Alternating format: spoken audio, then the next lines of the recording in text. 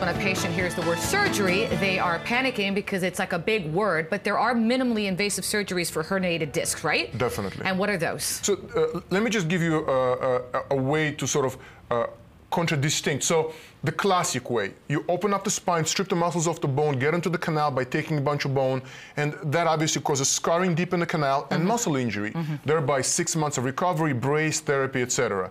The minimally invasive way essentially is a way to do the same operation without causing all that injury. So instead of opening up the spine big and wide, you make a very small incision and use a tube. Thereby, you avoid cutting muscles, you protect the muscles.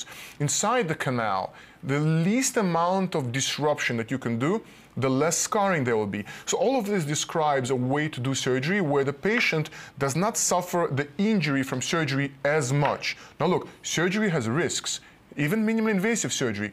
But the reality is that if I was to have surgery, if I was to send my family for that, I would want the most sparing approach. And that's what minimally invasive surgery is all about. And the reality is also is after this minimally invasive surgery, the results are amazing. Sometimes people correct me if I'm wrong because I'm no doctor here. I play a doctor. No, uh, they their pain goes away pretty fast. Yeah, that's my expectation. So uh, uh, I expect the patient to wake up and in recovery, my ugly face is what they see first, and I ask, Oh is your pain gosh, gone? Your handsome face. Thank you. And, and, and I expect them to say that the pain is gone.